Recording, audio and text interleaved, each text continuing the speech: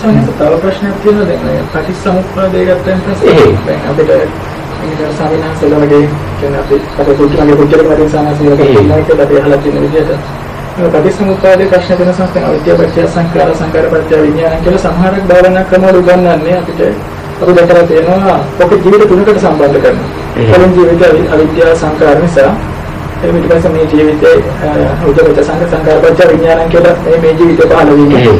එහෙම ජීවිත තුනකට ගලපලා නතර කරනවා.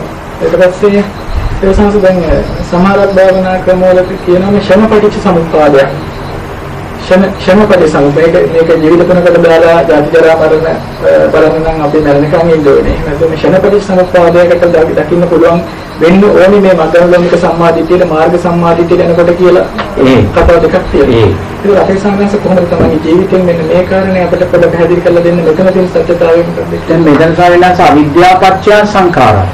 දැන් අපි කියමු දැන් ඔබ වහන්සේ ගිය ජීවිතේ මනුෂ්‍ය ජීවිතයක් ලැබුම් කෙනෙක්. දැන් ඔබ වහන්සේ ගිය ජීවිතේ අවුරුදු 90ක් වගේ කාලයක් ආයු වරඳලා ඔබ වහන්සේ ආ- බෑ, ජීවණයක් හැටියට මැරෙන වෙලාව එනවා. ඒ මැරෙන වෙලාවේ අවසාන චුති චිත්තය සකස් කරගන්නවා. ඒතකොට මේ චුති චිත්තය සකස් කරගන්නේ කුමක් නිසාද? තමා තුළ සංස්කාරය සකස් වෙන නිසා. කුසල් සංස්කාර වූ අකුසල් සංස්කාරයන්ට අදාළව තමයි චුති චිත්තය සකස් වෙන්නේ. ඒතකොට සංස්කාරයන් සකස් වුණේ කුමක් නිසාද?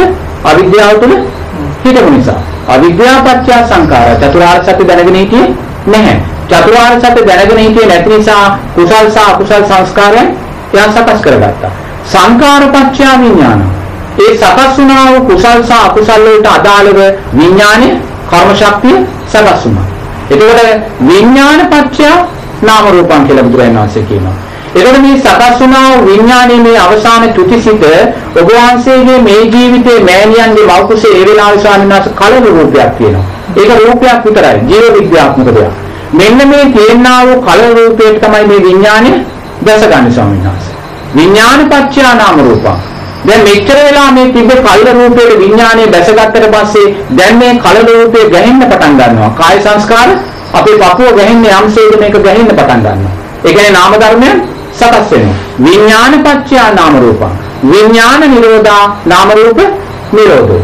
ඒකෝන නාම රූප පත්‍ය සලායතනං කියලා බුදුරජාණන් වහන්සේ කියනවා. දැන් නාම රූප සකස් වුණ නිසා බුදුරජාණන් වහන්සේ කියනවා සති හයක් අටක් යනකොට මේක තඹපු විතරයක් ප්‍රමාණයට ලොකු වෙලා අතපය වෙන වෙලා මේ ආයතන හය පීඩනවා කියලා.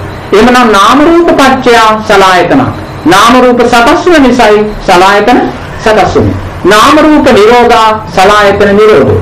නමුත් නාම රූප නිරුද්ධ වුණේ නැහැ නාම රූප සකස් වුණා ඒ නිසා සලායතන ආයතන හය පීඩියා. ඊට පස්සේ බුදුරජාණන් වහන්සේ කියනවා සලායතන පත්‍ය පස්සෝ. සලායතනය නිසා පස්සේ සිද්ධ වෙනවා. දැන් ඔබ වහන්සේ මේ ලෝකෙට බිහි වෙනවා. බිහි වෙලා ඔබ වහන්සේ ඇහෙන් රූප දකිනවා. ඇහෙන් රූප දැක්කා කියන්නේ චක්කු විඥානේ සකස් වුණා.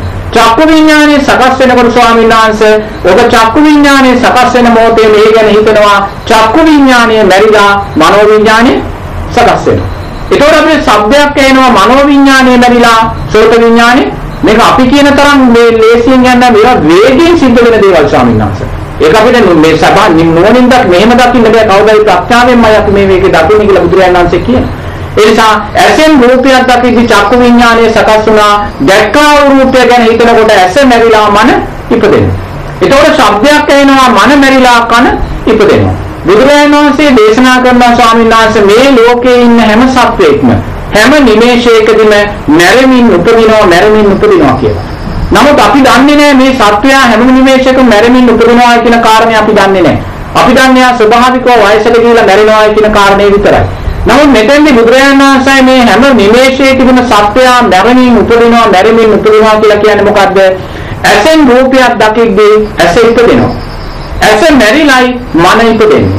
මන මැරිලයි කන ඉපදෙන්නේ. කන මැරිලයි කාය විඥානය ඉපදෙන්නේ. එහෙනම් චක්කු විඥානයේද සෝත විඥානය කියන්නේ නැහැ. සෝත විඥානයේද මනෝ විඥානය කියන්නේ නැහැ. මනෝ විඥානයේද කාය විඥානය කියන්නේ නැහැ. එකක් ඉපදිලයි අනිත් එක මැරිලා ඊළඟ ඉපදින්නේ. ඒක ඒසා වේගවත් ස්වාමීන් වහන්සේ. එහෙමනම් ඒ වේගය තුල අපි දකින්නේ මොකද්ද? මේ ආයතන තුලින් හැම වෙලාවෙම ඉපදලා තියෙන එක ආයතනයක් විතරයි ස්වාමීන් වහන්සේ. ඒ ඉපදලා තියෙන ආයතනය තුල විඥානය දැසගෙන තියෙනවා. එහෙනම් එකම විඥානයක්ද? නැහැ.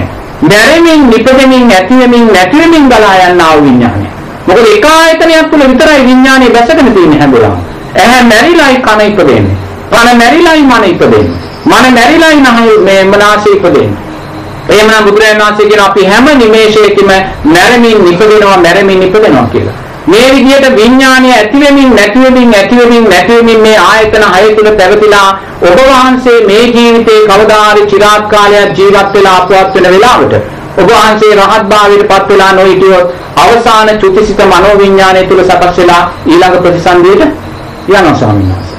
ඒක තමයි ස්වාමීන් වහන්සේ මම පටිච්චසමුප්පාදේ දකින්න ස්වාමීන් වහන්සේ. උතන තමයි ක්‍රියාකාරීත්වය දකින්නේ. ඔය පරිච්ඡසම්පන්න ක්‍රියාවලියයි අපිට සක්කාය දිට්ඨිය සම්පූර්ණයෙන් ඡය කළා දාන්නේ. මෙතන මමයේ මගේ කියලා සත්‍යයේ පුද්ගලෙක් නෑ හේතු නිසා සකස් වන දෙයක් කියන කාරණේ දකින්නේ. සංඛාර නිරෝධා විඥාන නිරෝධෝ. ඉතින් සංසංගසික අධ්‍යක්ෂ මොන හැටියට ඒ කියන්නේ කලින් ජීවිතයත් එක්ක සම්බන්ධ කරලා විද්‍යාපච්චය සංඛාරා ඒ කලින් ජීවිතයත් එක්ක තමයි මම සම්සම්බන්ධ වෙන්නේ. එහෙම ගත්ත නැති කියලා සංසංගසික අදහසනේ. මගේ මගේ අදහස ඒකයි. ඒක මොකද මට වැටහෙන්නේ ඒ. ඒක චිත්ත වීතියක තියෙන අවිද්‍යාපච්චය සංඛාරා ඒ ඒ මට්ටමට එන්න අවශ්‍ය නැහැ කියන ඒක මට නම් අත්දැකීම අතනයි ස්වාමීන් වහන්සේ. මම ඒක ගත්තේ එහෙමයි. අමද සමයෝක අභිධර්ම දෙකේ ඉවංග ප්‍රකරණයක් තියෙනවා කුසල හේතු ප්‍රත්‍යව සංඛාරෝ කියලා ඒ දක්ෂණයක් තුළ දකින්න ඕනේ කියලා. ඒ අපිට ඒක පිළිබඳ ගැටලුවක් තිබුණා මේක අපි එතෙන්ට එන්න ඕනේද එහෙම නැත්නම් ඔය ප්‍රමාණය මැද්ද කියලා. මට නම් දැනනස උත්තරය අවශ්‍ය ඔය ප්‍රමාණය තමයි මම මගේ ප්‍රමාණය. මට මම දකින්න තියෙන මට කියන්න තව කෙනෙකුට පැහැදිලි කරලා දෙන්න පුළුවන් ප්‍රමාණය. මොකද සමහර කියන්නේ මස දෙකක් තිබෙන කම්මස් එකක් සම්මාදිටියට තමයි අරට කියන්නේ මාර්ග සම්මාදිටියට එනකොට අර එක මොහොතක තුළ විද්‍යාපච්චය සංඛාරා මේ ක්‍රියාවලිය දකින්න ඕනේ කියන තැන අපිට ප්‍රශ්නයක් තිබුණා සාමාන්‍යයෙන්. මට දින අධ්‍යක්ෂකම නම් ඒකයි ස්වාමීන් වහන්සේ.